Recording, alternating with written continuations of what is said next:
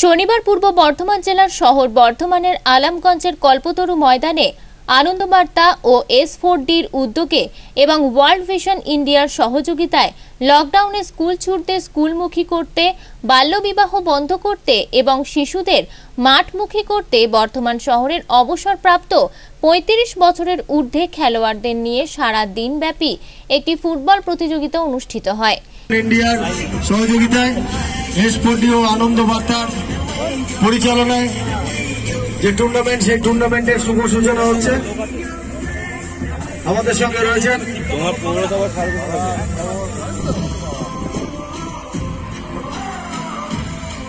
আমাদের সঙ্গে রয়েছেন ওয়ার্ডের কাউন্সিলর শ্যামাপ্রসাদ ব্যানার্জি, সৌগত হালদার এবং ওয়ার্ল্ড ভিশন ইন্ডিয়ার অন্যতম সৌভিক বিশ্বাস রয়েছেন।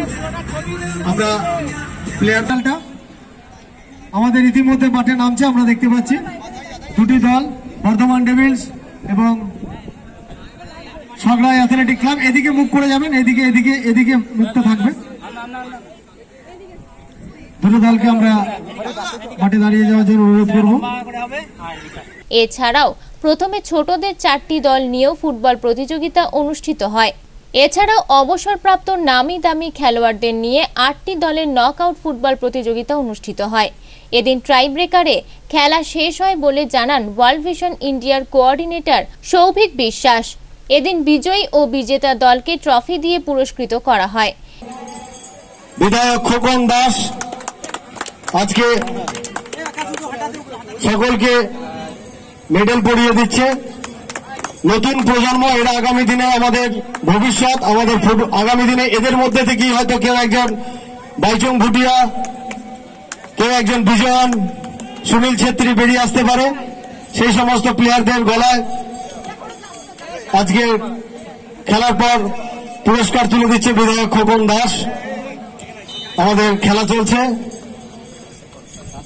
প্রচণ্ড ব্যস্ততার মধ্যে দিয়ে তিনি আমাদের সময় দিয়েছেন। জানেন, এই প্রথমবার বর্ধমানে তিনি করতে চলেছেন দুর্গাপুজো কার্নিভাল।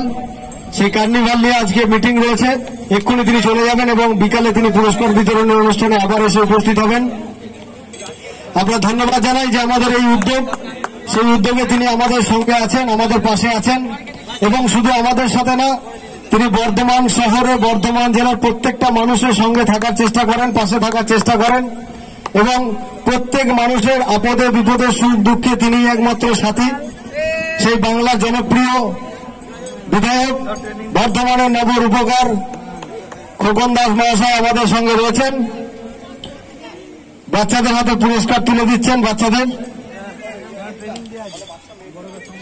আমাদের বাচ্চা মেয়েরা যারা রয়েছে, তারা তোমরা তাড়াতাড়ি চলে এসো দৌড়ে। দৌড়ে চলে এসো।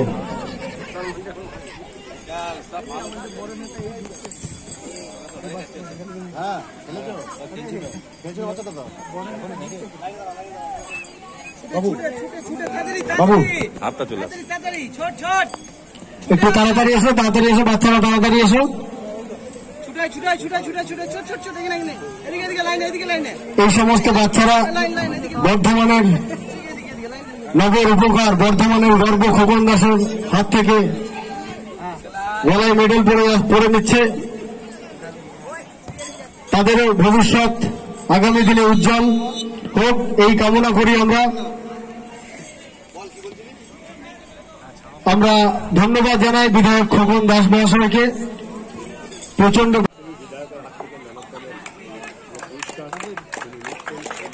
রোধ করতে এবং স্কুল ছুটদের স্কুলমুখী করতে আনন্দ সবিতা থাক থাক। চলে আসছে চলে আসছে।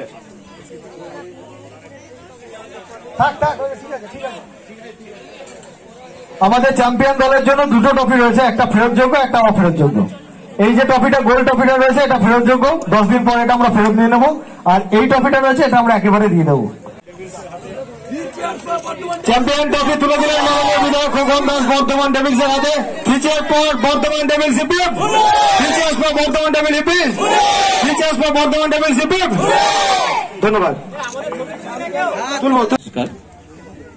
আজকে সারাদিন ব্যাপী আমাদের এই কল্পতরুর এই ফুটবল ময়দানে ওয়াল ভিশন এবং এবি বার্তার উদ্যোগে আমাদের স্কুল ছোট ছেলেদের পড়াতে এবং বাল্যবিবাহ রোধ করতে, খেলায় মাঠমুখী করার জন্য আজকের যে উদ্যোগ নিয়েছেন তার শেষ প্রান্তে প্রাইজ দেওয়ার অনুষ্ঠানে আমরা সবাই উপস্থিত হয়েছি এবং খেলার সঙ্গে যাতে সবাই যুক্ত হয়, যে উদ্যোগ আজকে ওয়ার্ল্ড ভিশন এবং এই আনন্দ বার্তা নিয়েছেন, এটা অত্যন্ত গৌরবের ব্যাপার যে আমাদের বাচ্চা বাচ্চা ছেলেরা তাদের আবার খেলার মাঠে নিয়ে আসা এবং যারা এখনও পড়াশোনা করতে চায় না, তাদের আবার পড়ার জায়গায় নিয়ে আসা।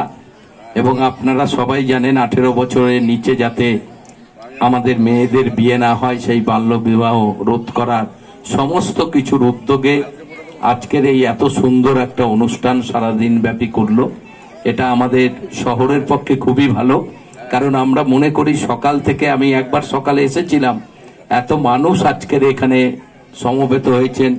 সবাই দেখছেন, এটা আমাদের খুবই ভালো লাগে। আমরা চাই এইভাবে বর্ধমান শহরের এইভাবে এক একবার একটা অনুষ্ঠান করে বিভিন্ন মাঠে খেলাধুলোর মধ্য দিয়ে আমাদের শহর এগিয়ে যাক। এদিন পুরস্কার বিতরণী অনুষ্ঠানে উপস্থিত ছিলেন বর্ধমান দক্ষিণ বিধানসভা কেন্দ্রের বিধায়ক খোকন দাস সহ বিশিষ্ট ব্যক্তিবর্গ। দিনভর আমরা সারাদিন ধরে একটা ফুটবলে আসর বসিয়েছিলাম। সেইখানে ছিল চারটে টিমের ছোট বাচ্চাদের ফুটবল খেলা এবং তারপরে আমরা রেখেছিলাম পঁয়ত্রিশ বছরের ঊর্ধ্বে যে সমস্ত মানুষরা যারা মাঠমুখী মাঠেতে প্র্যাকটিস নেই, কিন্তু তাদেরকে মাঠে নিয়ে এসে একটা বার্তা দেওয়ার চেষ্টা করেছি, সেটা হচ্ছে যে আমাদের সমাজে যাতে বাল্যবিবাহ না হয়, সেই উদ্দেশ্য রেখে আমরা যাতে বাল্যবিবাহ যেন বন্ধ করতে পারি, তার একটা প্রবণতা আমরা এখানে প্রচার চালিয়েছি।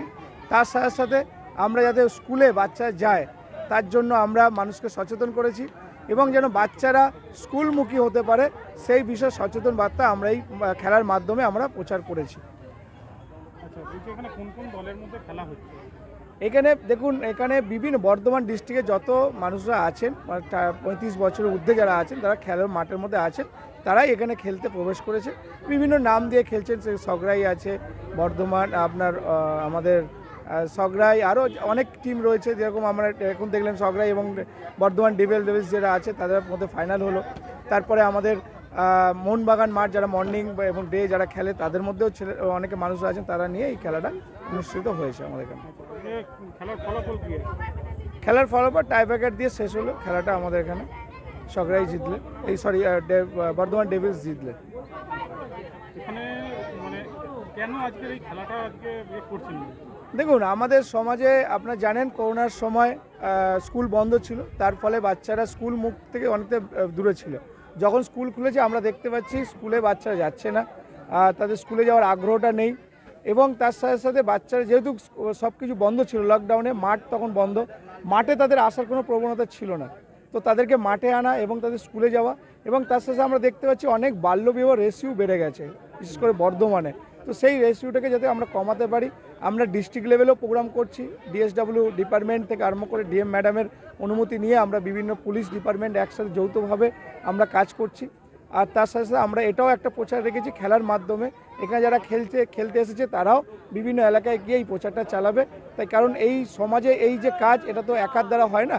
তাই সবাইকে নিয়েই আমরা এই কাজটা করার জন্য আজকের এই খেলার আমরা আয়োজন করেছিলাম। বর্ধমান থেকে পিন্টু প্যাটেলের রিপোর্ট আনন্দ বার্তা।